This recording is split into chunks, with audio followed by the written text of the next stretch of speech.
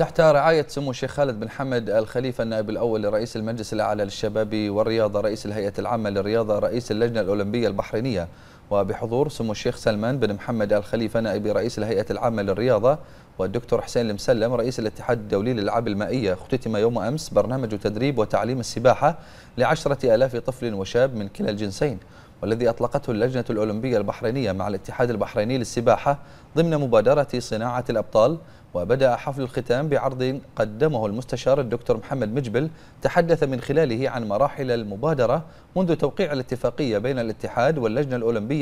في يوليو 2022 كما استعرض رئيس الاتحاد الإحصائيات التي أظهرت الوصول إلى الهدف في شهر يونيو 2023 بتدريب حوالي عشرة آلاف سباح من الجنسين وبهذه المناسبة أشاد سمو الشيخ سلمان بن محمد نائب رئيس الهيئة العامة للرياضة بالبرنامج والذي يأتي بتوجيه من سمو الشيخ خالد بن حمد منوها بالدور البارز الذي تقوم به اللجنة الأولمبية البحرينية مع اتحاد السباحة في تخريج هذا العدد الكبير من السباحين والذين سيتم انتقاء أفضل المواهب منهم لدعم المنتخبات الوطنية.